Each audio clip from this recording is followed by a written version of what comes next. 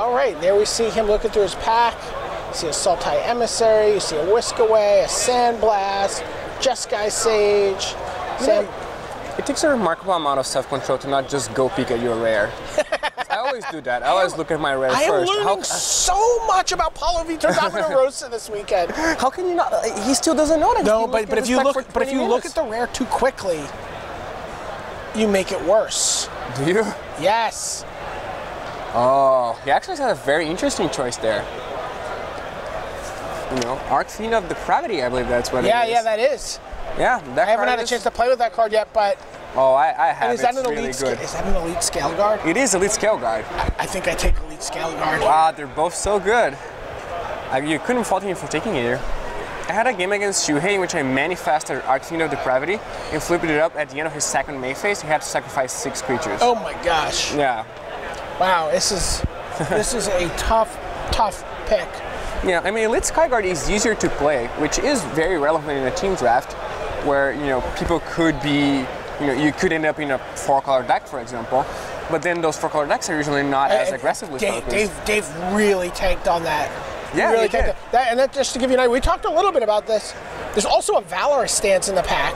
Yeah, and you know, obviously not on the same level, but Sandblast is quite good. Yeah, we, we talked a little bit about that that idea of where did Elite Scale Guard, where does Team Temur Sabretooth rank in terms of like how far up do they go by the rails? Well, we see Dave Williams has maybe has that above Archfiend Yeah. of Depravity. So there's a Dragon Bell Monk. Oh, an Abzan Sky Captain.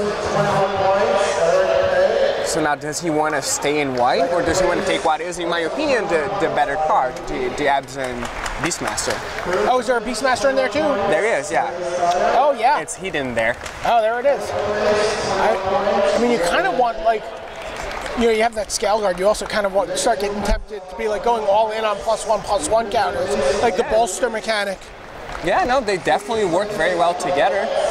And you know, there is something to be said about just staying in the same colors, but I believe my pick would be the, the Beastmaster here. I think it's enough of a, you know, it's enough more powerful that it's worth moving into a second color. You know, it's still very early in the Right. draft, and you don't want to give up this kind of power. But I also understand taking the flyer. I do not like taking the the bell. He, he took, he did, he did take the flyer. Okay. He took, he took Abzan Sky. Sky I believe Captain. that that card is significantly better than the 2-2 Vigilance Prowler. Yeah. I was saying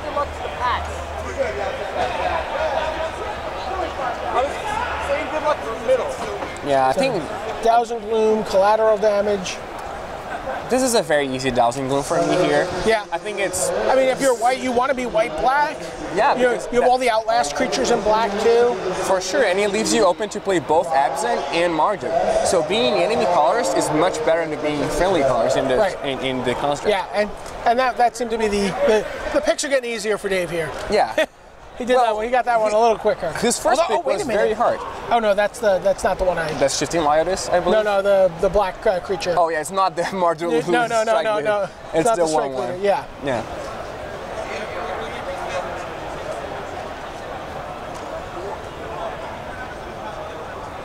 All right, so this pack is not good for Dave.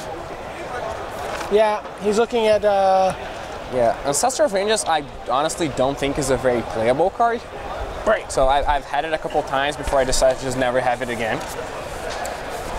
Yeah, but again, I guess Yeah, you could take the land in- and go Esper. it's pretty it's pretty sweet if you think you're facing off against rats. Yeah. He, he does take the ancestral vengeance. All right, I will be surprised if that up and ends up making his main deck. Right. So it looks like Dave has decided he's going to be black white. Yeah, which is you know a very good place to be. And also he knows that the person next to him took uh, Archfiend of Depravity or Archdemon of the Archfiend of Depravity. So he, he wants to be black. Right. He wants to cut that person out from being able to play that card. Yes, that, exactly. And, and that's very possible because the card costs double black. So it's much easier to cut them off of that than off of the Skyguard. Right. Which, you know, could be one of the reasons, not Skyguard, Scale Scale Guard. Yeah, yeah. It could be one of the reasons why he took it. Uh, I see a harsh sustenance in there, and that fits into the two colors of cards he's chosen already. It does, and that card is remarkably powerful. You know, the only thing that holds it back is the fact that it's two colors. But once you are already those two colors, there are not a lot of commons you would take over it. I don't think. And there he goes. That's what he takes. Five picks in. Yeah. Looking good so far. And also remember, there were multiple white cards in the pack he opened. There were, yeah. There And so there's a chance something will come back around to him here. There is, yeah. You know, he, he- he's is that uh Typhoid Rats, no the the the a other Marang one? River Prowler. Yeah, wow, that card is quite good. I think that's pretty late for it to be there. Yeah. It's just I, I believe better than everything else in this Yeah. pack, but I don't think he can take it. And a, oh, he, he does take the Typhoid Rats there. He does, yeah. So far, tournament MVP. I would have that on my number one card oh, for Oh, the yeah. top five cards from this weekend. Definitely Oh, look, at- look at what came back around. Sandblast. So that's his opening pack. Yeah, There's a Sultai Emissary and a Sandblast in his colors. Yeah, probably just taking Sandblast here. I think significantly better than Sultai Emissary, but wouldn't be upset to just you know be left with the Sultai Emissary here. And he's chewing on a There, toothpick. there was also a Valorous stance. yeah, There that was- did not come back. Yeah, yeah. Yeah. Yeah, you know, Neil Reeves not in the tournament anymore, but his toothpick remains. Yeah, I just want to knock that off. just, just lap it out of his mouth.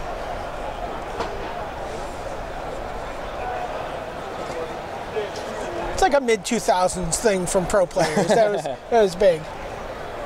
And the All Dragon Bell Monk came back around It too. did, yeah. He almost took it the first time around, so he must be very, very happy to. No, it's very rewarding when you're deciding between two cards, and then you reluctantly take one, and the other one comes back. Because you're like, I'm, I'm a genius, you know, I took the right one. That's perfect. Everyone else in this table was, was very foolish. So that's very a, a great feeling. Either that, or you have absolutely no idea which card is good. Right, or yeah, yeah, yeah, You know, yeah, it could be an awful feeling too, but in this case, I think it's a great feeling. So obs on advantage, collateral damage. So the Mardu, uh, Is that Sibixig Mug Draggers? Is that what it's called? Or no, Mardu Shadow Spear. I yeah, believe. Mardu Shadow Spear, yeah. Yeah. Cruelty. Uh, Yeah, we actually had a very interesting pick where Luis Scott-Vargas took Tasigur's Cruelty over uh, the Rakshasa's uh, Disdain. Oh, interesting. believe it's what it's oh, yeah, called. there's sort of shots to sustain also. Yeah, and, and it was like second to last pick. In his deck, they could have sideboarded Disdain. We've, we have seen uh, David Williams, Paul Rizzo, and Matt Sperling sideboard Rakshasa's Disdain Yeah, to the Ob- good Obs- effect. On Rune Mark is the pick there. Great Horn Krushok. Yep.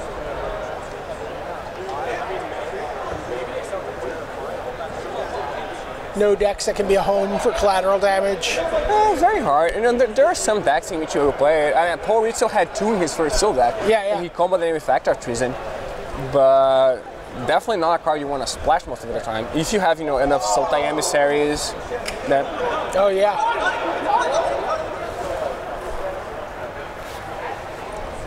Feral Krushok. Renowned Weaponsmith. Teamers. Takes the Renowned Weaponsmith. And then uh, the Formless uh, Nurturing.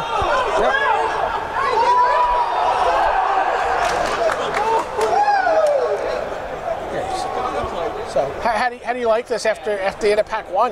I, I really Looks like like he got a lot of cards that could all end up in his deck. Yeah, he, he definitely does.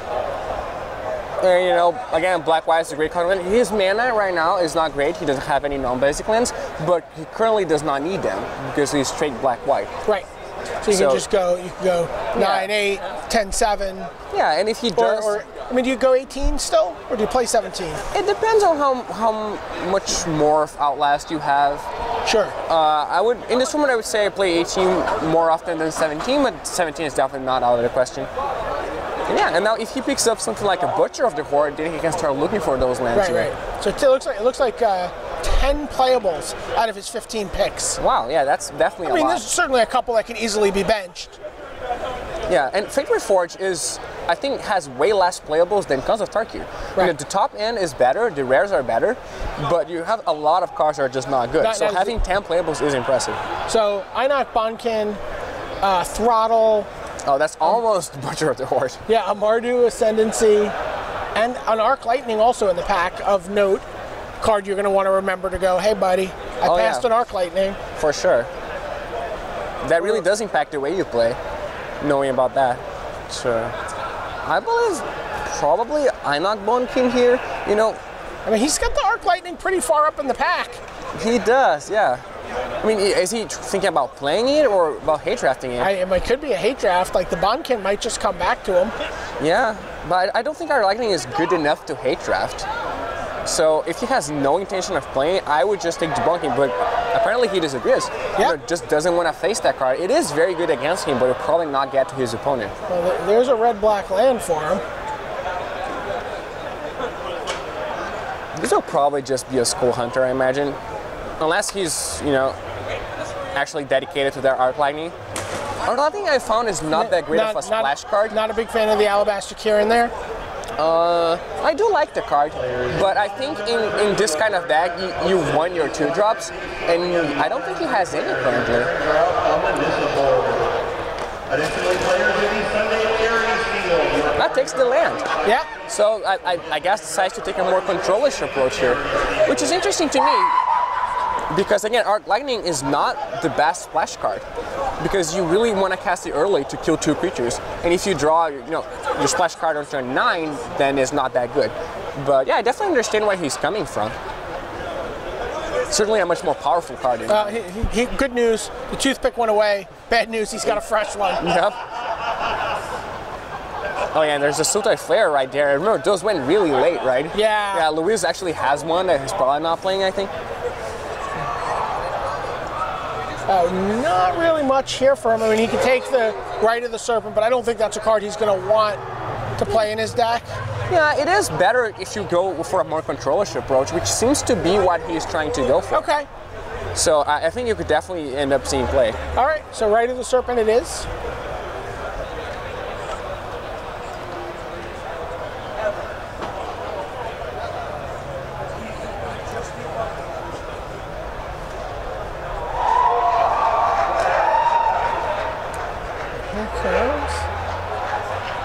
Kill shot. Wow, look, wow, look at this pack. Ivory Tusk Fortress. The pack is fantastic. Yeah, kill shot. Woolly Loxodon. Uh, Ponyback Brigade, a land. Wow. Assault Road Patrol. Yeah, all, almost all those cards are you know actively good. They're not just playable cards. They're cards you'd be happy to have in your deck. So which one is he going to take here? You know, I don't think he has the lens to support the Ivory Fortress right now. He, he does, as far as I can tell, he does not. Well, okay, that's not stopping him here. Yeah. So, once that card or once to take it away from the person he's passing to. So there's a Mardu Hateblade. There's a Jeskai student. There's a. Uh, this guy, is that the Mardu? You think Mardu Hateblade here? Uh, I think so. I, I like it better than just Student. If Yeah. you can activate the ability. Which he should be able to do. Yeah, it's not as good as Typhoid Rats, but you know that's a high bar. So there's a Defiant Strike. Could just eat a green creature here, or like incremental growth if you wanted. yeah, I think I would just take the Krumar Bond-Kin here in his Oh, or the spot. Krumar Bond-Kin, sure. Yeah, he's a bit, I think, short on, you know, just stuff to do early. And the Fire Strike is good if you're triggering prowess, but not that great if you're not. There So you yeah. I, I agree with his pick Okay, there. there you go. There's a Mardu Ascendancy. Ooh, and a throttle. Yeah, thr- throttle's the pick. I think so too. Yeah.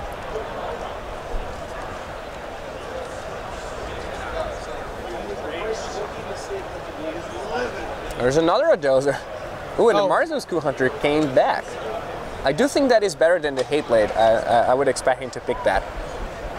Especially since he already has one Hate Blade and one Rat, so he's pretty much covered for this type of effect. Sure. There we go. He does take the Skull Hunter. Yeah. You Both of guys are also- syncing up now. You guys are starting to sync up. Yeah, both of which are also make the Skull Hunter better because he has one drops. Right. Awaken the Bear. Is that a Villainous Wealth? Oh, it is. Isn't that a card you want to D up?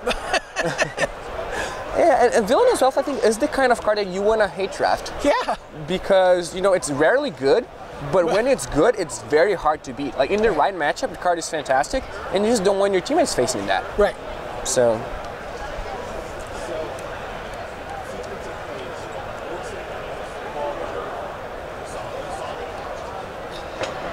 Yeah, like if the draft had ended, if the draft ended right now, I would not expect him to Wow, play Arc Lightning. this. Oh yeah. There's so much gas here for him. The kill shot and the ponyback and the salt road patrol, all of which are good in his deck. And you said the more controlling version, Yeah. the salt road patrol goes speaks to that, doesn't Oh it? Oh yeah, it does. It definitely does, and that's surprising to me over Kill Shot.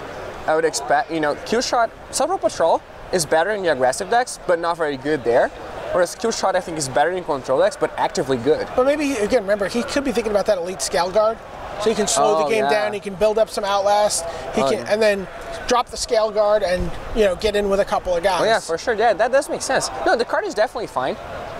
Uh, I just like Kill Shot a little bit more, Sure. but I, I also understand. Like, you know, he also has he's playing black and has you know some removal already, so maybe just feels like he's short on creatures. Also has the harsh sustenance, so. And removal is kind of replaceable at this point. Like he has Throttle, Ride of the Serpent, Harsh Sustenance. So yeah, and Arc Lightning. Yeah, possibly. I mean, the, the arc lightning's almost a free splash him at this point. I think he's got a couple lands. I believe he has one or I think he has one Windscarred Crag, one Bloodfell Caves. okay. No, just the just the. No, it looks like he just has just the Yeah, just, just, the, one. just the caves. And, you know, last things change. I would just expect him not to play it. Yeah. And so does he apparently, because that's yeah. not in his Yeah, he's just like, yeah, get that out of here. yeah. But he'd like to see a couple cards that start with the word chief. Yes. know, oh yeah, those are so good. He even has, you know, a decent amount of warriors. And if he does have the ability to play the average as Fortress, the ability is going to be pretty good because he does have some bolsters, some outlast. And you know, the card is solid by itself. 5-7 is no joke. Yeah, yeah. But if you can get the ability going, that's even better. All right. Here we go. It's pack three. I think I see a throttle. Three directions he can go. Stay black, wait. Go Abzan. I mean, not, not uh, yeah, Abzan yeah. or go uh, Mardu. Yeah, definitely. There's a Skull Hunter, All right, not the rare he was hoping for. Wooded Foothills.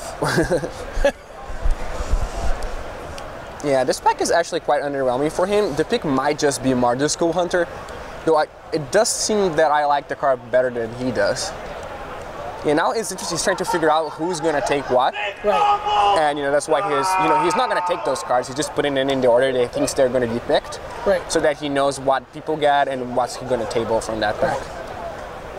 Maybe get a Sage Eye Harrier back out of this pack. Yeah, you know, it wouldn't be. It is a warrior right now. He doesn't Yeah. have any synergy with it, but he could Yeah. pick that up.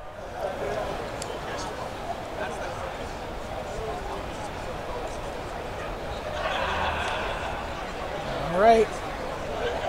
There's a Rush of Battle. There is. he The is. Stone Ancestor's kind of nice here. It is too. Oh yeah, so salty. Oh, Oh, but yeah. Murderous Cut is the clear pick. Oh, oh, no, wow! Can he table that? he might be able to. Yeah. You know what? He might be able to table that. He's gonna table something good for that because there are like five good cards Yeah, for him. yeah. He's he's got to take the Murderous Cut. It's Yeah.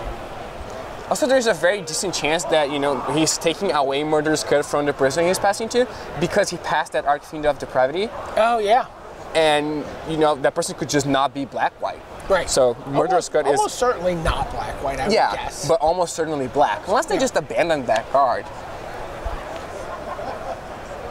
which I think is also possible. Yeah. Yeah, he does take the Murderous Cut there.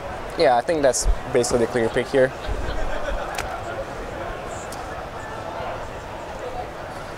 Oh, there's another Sultai Scavenger. There's another Raid of the Serpent. Yeah. So this coverage, I think, being just the better option here. Yeah. You know, he doesn't have many delve cards. He has Murderous Cut, but that's not very delve intensive. Right. So he can definitely afford another one. And, he, and he's got a lot of he's got creatures like the Hate Blade and the Typhoid Rats that sort of engage early. yeah, yeah, for sure. So- Wow, that's a great pickup for him. Is there a- Well, wow, look at this! another He pack might- with he's the gonna, Zone He's going to get two picks out of this pack as well. Yeah, no, that's definitely um, very good for his deck. You know, could be greedy try to wield the gold card and hope that no one else is playing it because most Abzan decks cannot actually play that card. Yeah. Because they're base base green most Right, of the time. right, right. But I think there's a chance that this one would actually get hate drafted from him. Yes. So I think just better to just Uh, look at that Abzan guide. Salt Road Patrol. Yeah, I think he should probably just abandon all pretense of playing red at this point.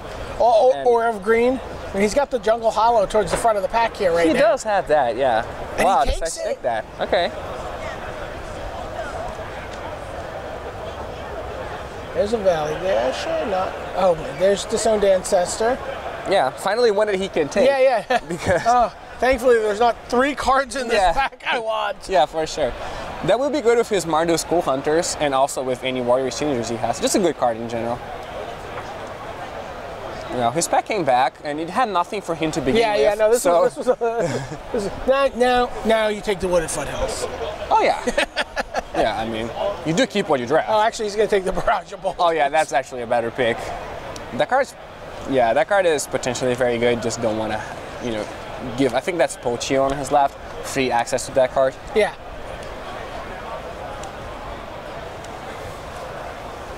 And again, it might be a card that you know he could splash as Yeah. a sideboard card, depending on, or even as a main deck card, as we've talked about. Like when they sort of suss out and they're like, yeah, no, two ponyback brigades and a, you know, a. Uh, you know, uh, Hordeling Outburst and this and that, and he's like, oh, you know what? I'm going to build my deck with these two red sources, another mountain, and something else. I'm going to play this barrage of boulders, right? Like he can just make that decision. Yeah, and I mean he does have the Arc Lightning too. So if he wants to bring Alright, red so- in, Look, uh, that came back. Wow. Yeah, so he's probably gonna get a rush of battle in the next pack. The the next time this this the good pack tables for him, which I think is two packs from now. So we, we said he needs something that starts with Chief coming into this third pack. Yeah, he found two.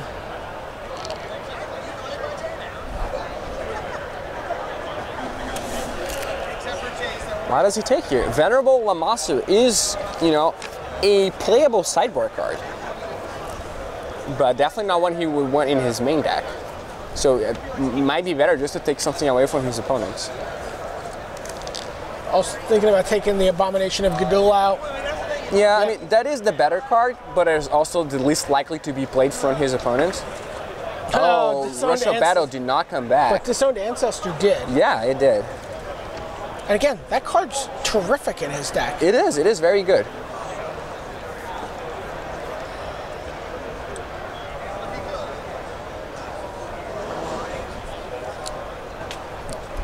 You don't let someone just get a free. Yeah, secret, Secret plans. plans. Yeah. I don't think Pochun is much into secret plan shenanigans. You know, that's more Yeah. like LSVs and Eric Froehlich's alley, but Chewin is more business-like than, them, but yeah, no need to just pass that for free.